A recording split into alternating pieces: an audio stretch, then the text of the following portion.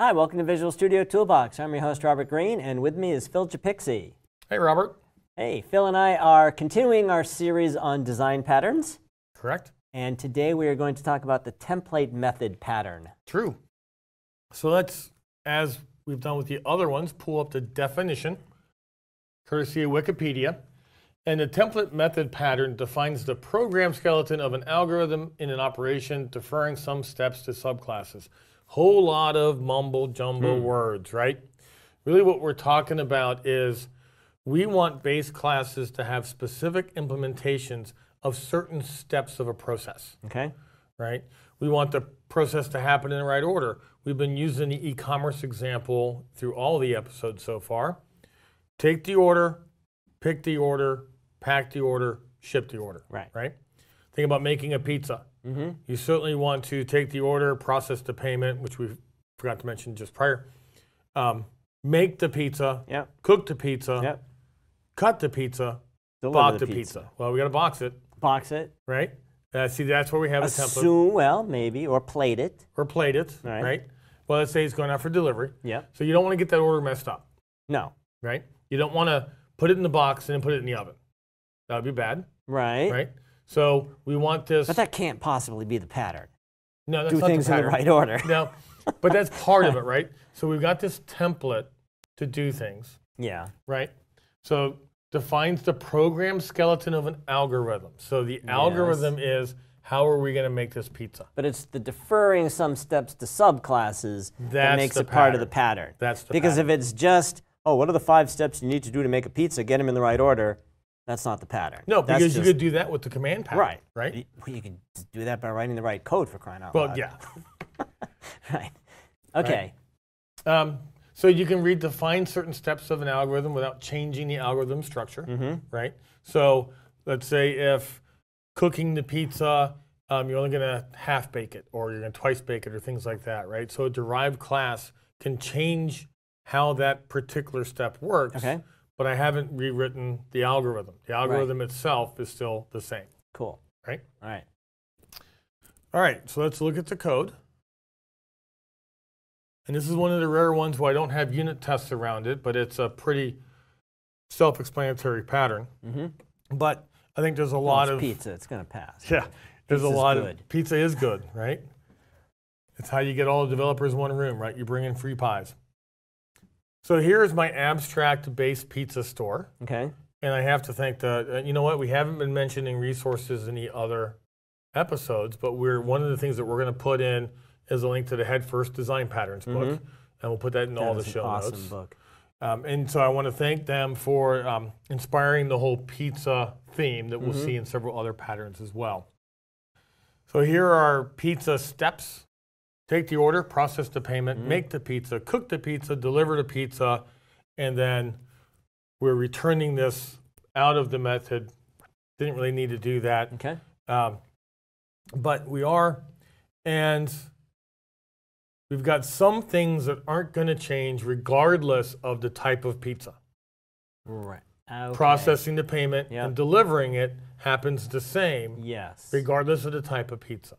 I'm going to charge a credit card, I'm taking cash. However that works, Mm-hmm. gotta calculate the price. Calculate the price might be something that varies, but not actually processing the payment. And delivering the pizza is the same across all pizzas as It's well. It's entirely possible that depending on the pizza you make, you could deliver it differently, but It is it is possible, and then you would have to extend this to override that. Yep. Right? okay. So we've got these base implementations for processing. So it's the fact that take order, make pizza, cook pizza, that's always going to happen, but how it happens can be different. And therefore, you put it in an abstract class. That's what makes this the template method pattern. Yeah, and to be clear, it doesn't have to be abstract. I could Okay. have made those virtual Sure. and have a Yep. standard Okay. implementation, Mhm. which, for example, we could have done with the deliver pizza. Okay. So if it's a hot pizza, it's always delivered the same way. Right. But let's say you're going to order a or deliver a half-baked pizza, right? The one that you finish cooking at home.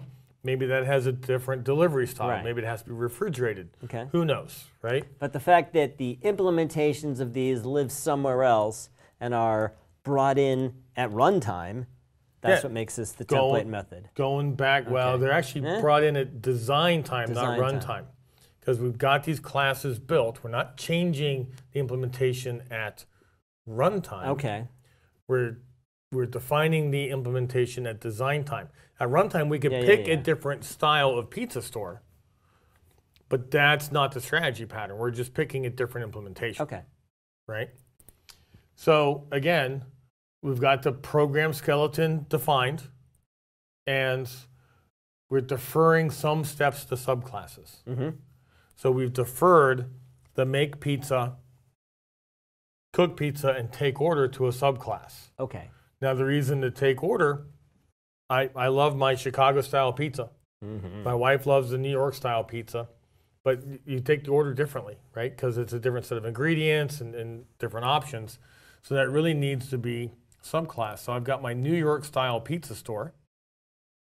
And there's no real implementation here because, again, I'm just trying to show the pattern. Right. Okay. But for take order, I'm going to operate on this pizza for delivery, which is defined in that abstract class. That's the IPizza in the abstract class. And this is probably a great place for the basic factory pattern. We haven't aired that show yet, but it will be coming up as part of this series. Mm-hmm. But just know that we're going to return some sort of I pizza, Probably be a thin crust. It's New York style, spicy ingredients, lots of sauce, right? Uh, then we're going to make the pizza, and it's going to be thin crust. So we have to cook it less, right? If it was Chicago style pizza, we'd have to cook it longer, Yep. right? So that's a specific implementation that is deferred to the derived class. Uh, sorry, make and cook, right? Both fall into that, Right. right? So probably cooked in a wood-fired oven for New York style pizza and a different style of onion for Chicago style pizza. Right. So that's the crux of the template method. Um, one thing that you'll notice when we get to the factories, So you would then have a separate class for the various types of pizza. correct, And if you created a new type of pizza that you were offering, you would just have a new implement a new class, different style pizza store, which still has a take order, make pizza, cook pizza. You, the steps are the same, but how you do it is differently. But regardless, you're always processing the payment and delivering in the base class. correct. Okay.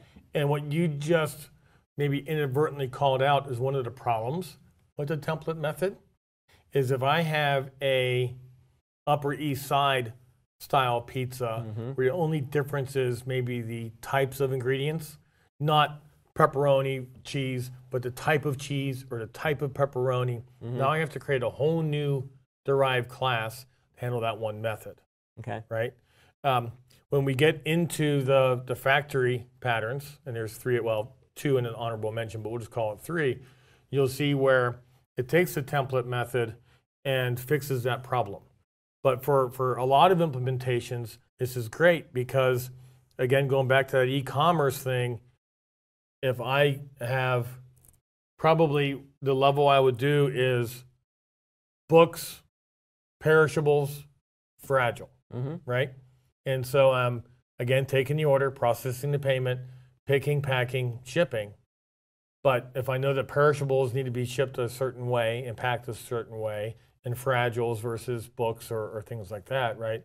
So now we've got the take order and delivery in the base class. I'm going to send it out to UPS or United States Post Office, or I got to make sure I hit everybody since you don't have sponsors, FedEx. I'd be like NASCAR here. I'll just have stickers all over me for all the delivery There companies. Um, yeah, that would be the template method, right? So we've got this base, but but you can have an explosion of classes with this Right. Because every time I need a variation, now I'm making another. Yeah. Now, I could also implement this um, using the strategy pattern, right?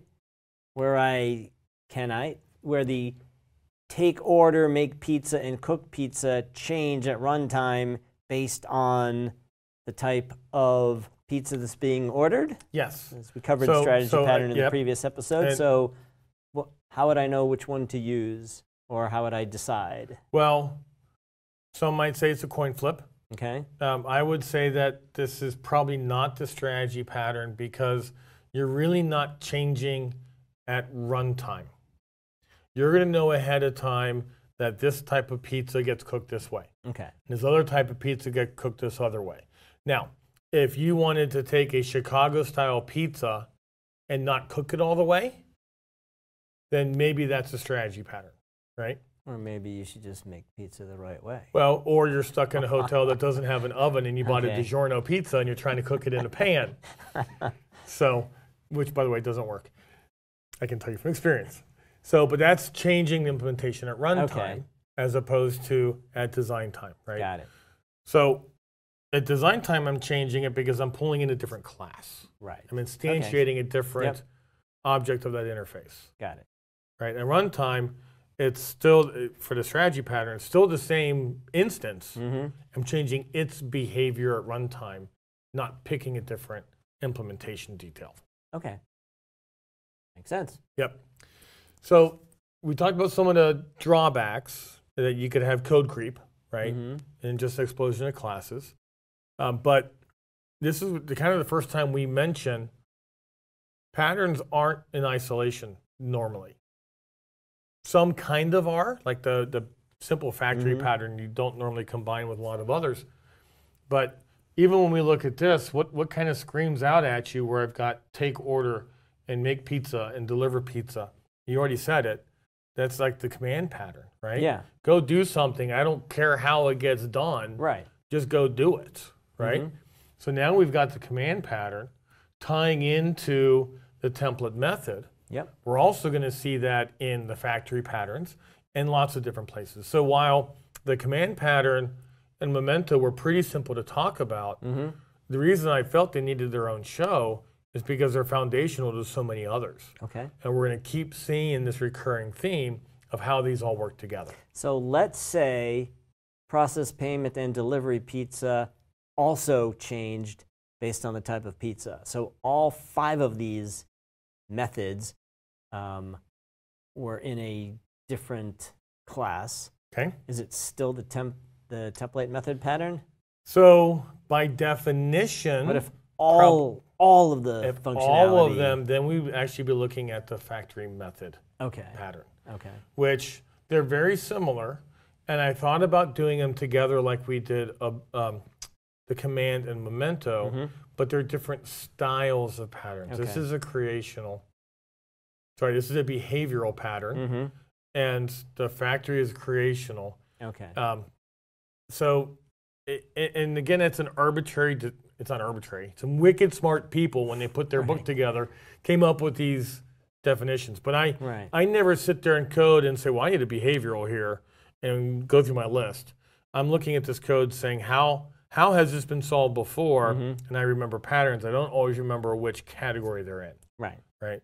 So you're going to see some that are similar, and they're cousins, sometimes second cousins, Mhm. sometimes they're not related at all. Um, but but that's pretty common in, in software design, right?